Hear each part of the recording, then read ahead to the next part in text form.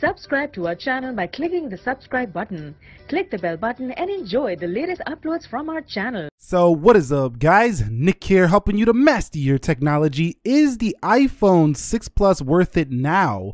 We're at about July 2018 and this phone has an attractive price point right now as you can find it in a lot of places at under, you know, 200 bucks, around 200 bucks. And getting an Apple product at that price point with this size of a display is kind of unheard of. So it can be attractive options for those of you who are looking for a very cheap device. But there are some really big drawbacks with the 6 Plus that might make it worth a skip uh, here in 2018, at least at this current point in time. Let's go ahead and begin with the key specifications. I just want to refresh some of these so we can get an idea of what this 2014 phone had to offer. 5.5 inch 1920 by 1080, you know, this is a full HD panel and it can go sideways, so it's like a little mini tablet. If we go turn it to the side, you can see right there a little bit of lag there. We are on iOS 12, uh, one gigabyte of RAM, and an Apple A8 CPU. This has packed in a 2915 milliamp hour battery, 8 megapixel 1080p camera. This cannot do 4K, and the front camera on this device is actually 1.2 megapixels. So it's the same one that you could find kind of like in the iPhone SE,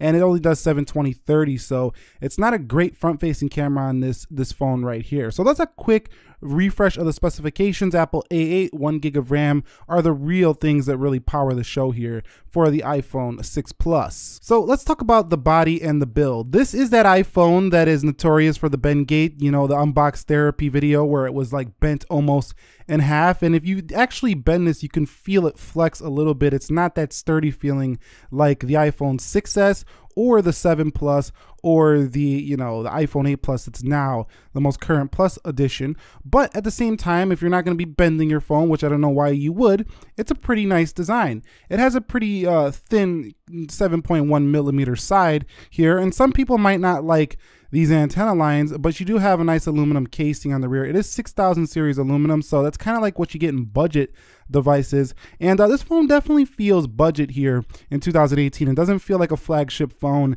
anymore as to be expected as four years old. But 7000 series aluminum doesn't really feel any different. It just feels thicker and more sturdy. In terms of like the actual feel on the hand it's about the same. So uh, it's still good you know. Most budget phones now can do aluminum like the honor series but this is still pretty decent here in terms of the feel in hand. It doesn't feel phones do feel but it still has you know aluminum so it doesn't feel like a super cheap phone either. In terms of its weight, 172 grams, so that's actually quite light for this size of a body. And the iPhones just kind of got a little heavier as the Plus series advanced. They got a little heavier, more durable, all the way up to 202 grams now on the 8 Plus. So this is pretty light for a Plus device here. So if you like that, you will like the light and feel of the iPhone 6 Plus. Overall at 200 bucks, it feels just like one of those Honor 7X phones. It feels like a Huawei Mate SE. That's how this phone feels and uh, you know those phones don't feel cheap either so it's definitely not at your ultra premium level but the body for 200 bucks is still it's not bad overall. I mean at 600 i'd be like no but at 200 it's okay. Okay so let's discuss that display. So again retina display this really hasn't changed much over the years so getting a 6 plus now is not like you're getting any decrease in the display. 6s plus has the 1080p display so 401 pixels per inch giving it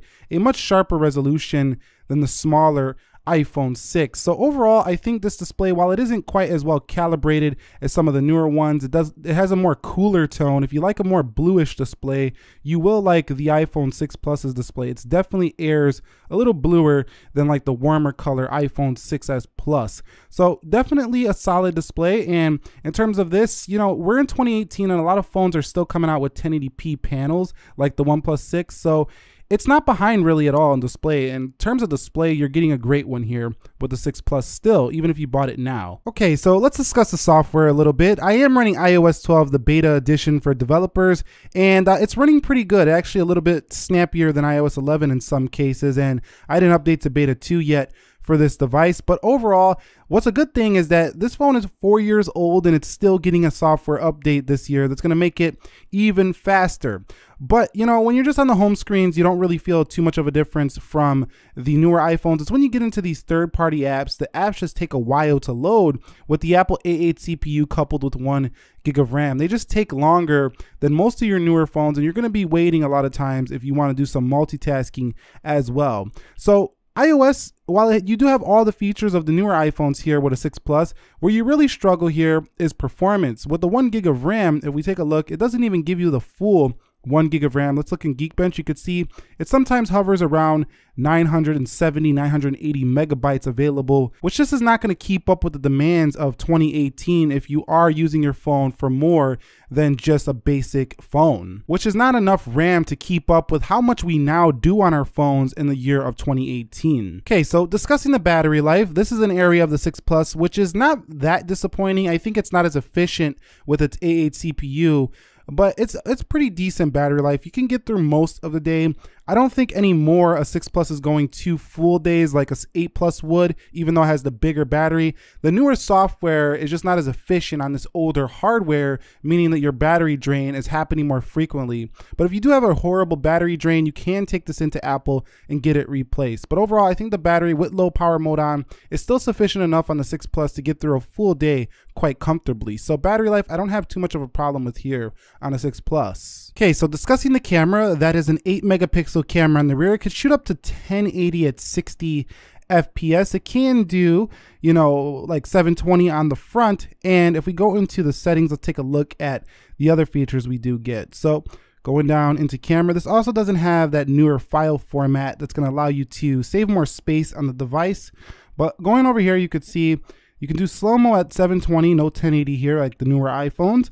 You can do 1080 at 60, so definitely in the budget territory here when it comes to what you can do with the camera. So that's the camera settings when it comes to the iPhone 6 Plus. The camera software itself is very similar to any other newer iPhone. We don't need to discuss that much, but instead of us talking about the camera, let's just take a look at some of the samples and you could judge for yourself if you think it's still worthy of your money in 2018.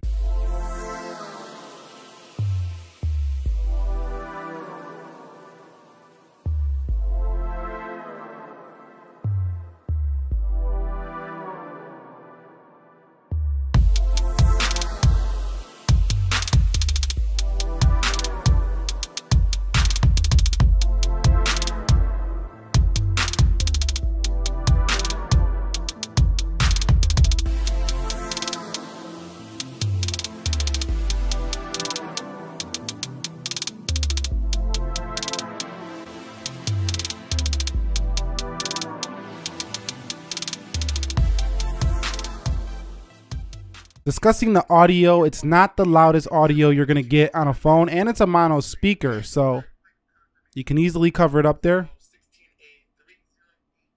And overall, it doesn't get very loud. Rather tinny, actually, here in comparison to the upgraded iPhones. So, not a great audio experience, but unlike some of the newer iPhones, you do have one great thing, and that is a headphone jack. So you can plug in millions of different iPhone or headphones to this iPhone. So that kind of makes up for the lack of great external speakers. Discussing the call quality, it hasn't been fantastic for me in my use case, mostly due to having a weaker speaker. I like to do speakerphone calls and I can't hear people that well with this phone. Also, the earpiece is not quite as crisp as like an 8 Plus, for example. It shouldn't be. I mean, it should be improved.